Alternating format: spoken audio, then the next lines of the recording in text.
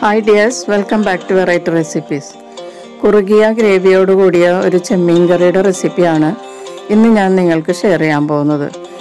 ഇത് വളരെ ടേസ്റ്റി ആയിട്ടുള്ളൊരു കറിയാണ്. എളുപ്പത്തിൽ ഉണ്ടാക്കിയെടുക്കാം.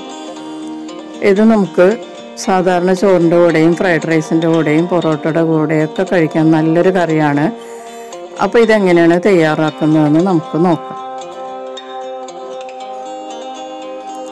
ചൂടായ പാനിലേക്ക് മൂന്ന് ടേബിൾ സ്പൂൺ സൺഫ്ലവർ ഓയിൽ ചേർക്കുക.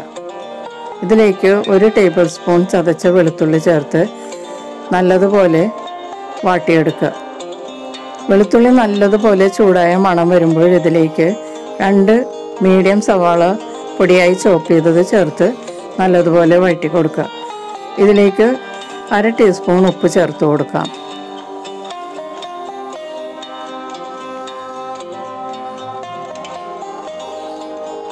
ഉപ്പ് ചേർത്തതിന് ശേഷം നമുക്ക് പച്ചമുളക് ഇതിലേക്ക് ചേർത്ത് കൊടുക്കാം. ഞാൻ രണ്ട് ചെറിയ പച്ചമുളകാണ് എടുത്തിരിക്കുന്നത്. എരിവ് കൂടുതലുള്ള പച്ചമുളകാണ്. അപ്പോൾ അതുകൊണ്ട് ഞാൻ കുറച്ച് ചേർക്കുന്നുള്ളു. കൂടുതൽ എരിവ് വേണമെന്നുള്ളവർക്ക് പച്ചമുളകിന്റെ എണ്ണം കൂട്ടാവുന്നതാണ്. ഇനി സവാള നന്നായിട്ട് സോഫ്റ്റായി കഴിയുമ്പോഴേക്കും ഇതിലേക്ക് പൊടികൾ ചേർത്ത് കൊടുക്കാം. കാൽ ടീസ്പൂൺ മഞ്ഞൾപ്പൊടി മുക്കാൽ ടീസ്പൂൺ മല്ലിപ്പൊടി ഒരു ടീസ്പൂൺ കാശ്മീരി മുളക് പൊടി അര ടീസ്പൂൺ ബ്ലാക്ക് പെപ്പർ പൗഡർ അര ടീസ്പൂൺ ഗരം മസാല.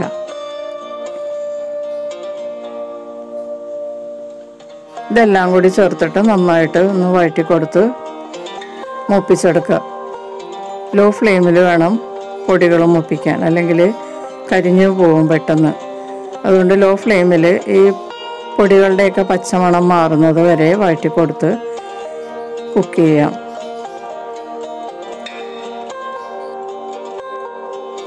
ഇനി ഒരു ചെറിയ തക്കാളി സ്ക്വയറായി കട്ട് ചെയ്ത് ഇതിലേക്ക് ചേർക്കാം. നല്ലതുപോലെ വഴറ്റി കൊടുത്ത് തക്കാളിയൊക്കെ സോഫ്റ്റ് ആവുന്നത് വരെ കുക്ക് ചെയ്യാം. അതിനുശേഷം ഇതിലേക്ക് ഒരു മീഡിയം ക്യാപ്സിക്കം ചെറുതായി കട്ട് ചെയ്തത്. ചേർത്ത് ഒരു രണ്ട് മിനിറ്റ് മീഡിയം ഹീറ്റിൽ വഴറ്റി കൊടുത്ത് കുക്ക് ചെയ്യാം. അതിനുശേഷം ഇതിലേക്ക് നമുക്ക് വെള്ളം ചേർത്ത് കൊടുക്കാം. ഗ്രേവിക്ക് വേണ്ട വെള്ളം ചൂടുവെള്ളമാണ് ചേർക്കേണ്ടത്.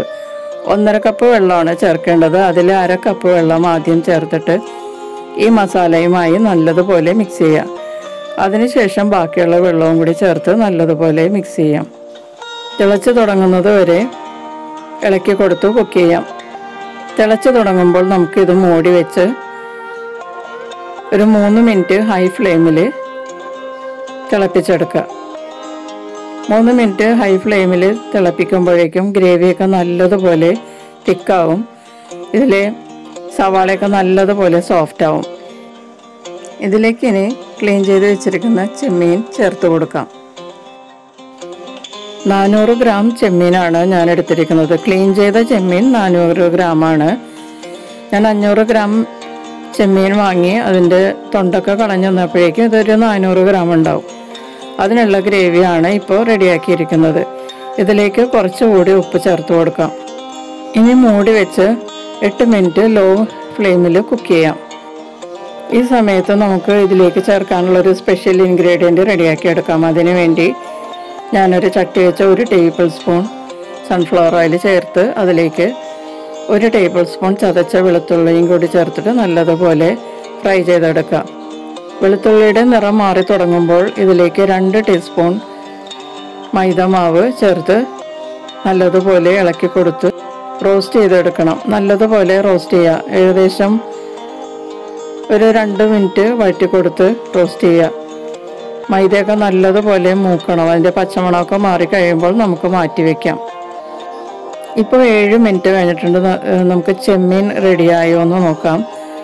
ഇപ്പോൾ ചെമ്മീത്തിന്റെ ഗ്രേവിയൊക്കെ സോഫ്റ്റ് ആയിട്ടുണ്ട്. ചെമ്മീൻ നല്ലതുപോലെ വെന്തിട്ടുണ്ട്.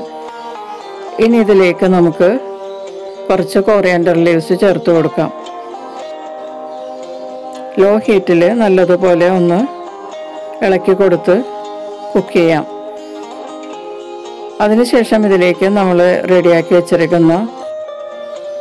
നമ്മൾ നേരത്തെ റെഡിയാക്കി വെച്ചിരിക്കുന്ന മൈദ മുപ്പിച്ചത് ചേർത്ത് നല്ലതുപോലെ മിക്സ് ചെയ്ത് കൊടുക്കാം. ഇത് നല്ലതുപോലെ ഈ ഗ്രേവിയിൽ മിക്സ് ആകുന്നത് വരെ ഇളക്കി കൊടുക്കുക. അപ്പോൾ ഈ ഗ്രേവിയൊക്കെ നല്ലതുപോലെ തിക്കാവും. അപ്പം നല്ല മണമൊക്കെ വരുന്നുണ്ട് കേട്ടോ. ഈ വെളുത്തുള്ളി മൂത്തതും അതുപോലെ മൈദമാവ് മൂപ്പിച്ചതൊക്കെ ഈ ഗ്രേവിയുമായിട്ട് ചേരുമ്പോൾ ഒരു പ്രത്യേക മണമാണ്. നല്ല ടേസ്റ്റുമാണ്. ഇതുപോലെ ഒരു കറി നിങ്ങൾ ആരും കഴിച്ചു കാണില്ല. നല്ല ടേസ്റ്റുമാണ്. ഇനി നമുക്കിതിലേക്ക് രണ്ട് പിഞ്ച് പഞ്ചസാര ചേർത്ത് മിക്സ് ചെയ്തിട്ട് നമുക്കിത് സെർവ് ചെയ്യാവുന്നതാണ്. രണ്ട് പിഞ്ച് പഞ്ചസാര അവസാനം ചേർക്കുമ്പോൾ ഈ കറിക്ക് പ്രത്യേക ഒരു ടേസ്റ്റ് ആയിരിക്കും. അപ്പോൾ വളരെ സ്വാദിഷ്ടമായിട്ടുള്ള ഈ ചെമ്മീൻ കറി എല്ലാവരും ട്രൈ ചെയ്ത് നോക്കുക. നിങ്ങളുടെ അഭിപ്രായങ്ങളൊക്കെ അറിയിക്കുക. ചാനൽ ആദ്യമായി കാണുന്നവരാണെങ്കിൽ സബ്സ്ക്രൈബ് ചെയ്ത് ബെല്ലൈക്കൺ എനേബിൾ ചെയ്യുക. നമുക്ക് വീണ്ടും മറ്റൊരു റെസിപ്പിയുമായിട്ട് കാണാം. താങ്ക്